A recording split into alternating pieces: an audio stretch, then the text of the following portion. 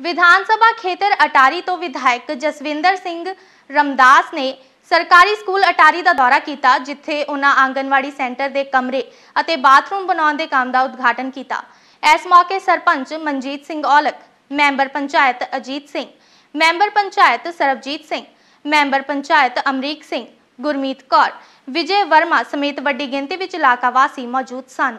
ਇਹਦੀ ਲੋੜ ਸੀ ਜੀ, ਲੋੜ ਕਿਹੜੀ ਚੀਜ਼ ਦੀ ਨਹੀਂ। ਜਿਹਦਾ ਉਦਘਾਟਨ ਕੀਤਾ ਜਾਂਦਾ ਦਾ ਨਹੀਂ ਪਤਾ ਰੱਖਿਆ ਜਾਂਦਾ, ਉਸ ਚੀਜ਼ ਦੀ ਲੋੜ ਹੁੰਦੀ ਹੈ ਇਹ ਛੋਟੇ ਬੱਚੇ ਜਿਨ੍ਹਾਂ ਦੇ ਕਿ ਸਮਾਜ ਚ ਬਾਅਦ ਸਮਾਜ ਚ ਪਹਿਲਾਂ ਆਉਣਾ, ਸਿੱਖਿਆ ਖੇਤਰ ਚ ਬਾਅਦ ਚ ਜਾਣਾ। ਇਹ ਸਮਾਜਿਕ ਸਿੱਖਿਆ ਔਰ ਦੋਵੇਂ ਚੀਜ਼ਾਂ ਇਸ ਸਕੂਲ ਚ ਜਾਂ ਇਹ ਸਕੋਪ ਇਨੀਸ਼ੀਅਲ ਜਿਹੜੀ ਸਟੱਡੀ ਦਾ ਕੇਂਦਰ ਹੈ, ਜਿਹਨੂੰ ਆਪਾਂ ਆਂਗਣਵਾੜੀ ਕਹਿੰਦੇ ਆ, ਇਹ ਚ ਦਿੱਤੀ ਜਾਂਦੀ। ਉਹਨਾਂ ਦੇ ਕਮਰੇ ਦਾ ਉਦਘਾਟਨ ਕੀਤਾ। ਸਰਕਾਰ ਦੀਆਂ ਗਤੀਵਿਧੀਆਂ ਲੋਕ ਹਿੱਤੀ ਗਤੀ- ਗਤੀਵਿਧੀਆਂ, ਵਿਕਾਸ ਦੇ ਕੰਮ ਜਾਰੀ ਰਹਿਣਗੇ, ਲੋਕ ਹਿੱਤ ਕੰਮ ਜਾਰੀ ਰਹਿਣਗੇ। ਮੈਂ ਧੰਨਵਾਦ ਕਰਦਾ ਜੀ ਐਮਐਲਏ ਸਾਹਿਬ ਦਾ, ਜਿਹੜੇ ਸਾਡੇ ਇੱਥੇ ਪਹੁੰਚੇ ਸਾਡੇ ਨਗਰ ਤੇ। ਇਹਨਾਂ ਦਿੱਤੀਆਂ ਗ੍ਰਾਂਟਾਂ ਦੇ ਵਿੱਚੋਂ ਅਸੀਂ ਆਦਰਸ਼ ਗ੍ਰਾਮ ਯੋਜਨਾ ਰਾਹੀਂ ਇੱਕ ਆਂਗਨਵਾੜੀ ਸੈਂਟਰ ਬਣਾਇਆ ਜੀ, ਇੱਕ ਦਫ਼ਤਰ ਬਣਾਇਆ। ਇੱਕ ਬੱਚਿਆਂ ਵਾਸਤੇ ਬਾਥਰੂਮ ਬਣਾ ਕੇ ਦਿੱਤਾ ਜੀ। ਲੋੜ ਬੱਚਿਆਂ ਦੀ ਲੋੜ ਹੀ ਹੈ ਜੀ, ਇਹ ਬੱਚਾ ਬਾਥਰੂਮ ਨਹੀਂ ਸੀ ਹੈਗੇ ਜੀ ਇੱਥੇ। ਆਂਗਨਵਾੜੀ ਸੈਂਟਰ ਦਾ ਕਮਰਾ ਹੀ ਨਹੀਂ ਸੀ ਹੈਗਾ ਇੱਥੇ। ਇਹ ਬੱਚੇ ਬਾਹਰ ਕਲਾਸਾਂ ਲਾ ਕੇ ਬੈਠਦੇ ਸੀ ਇੱਥੇ।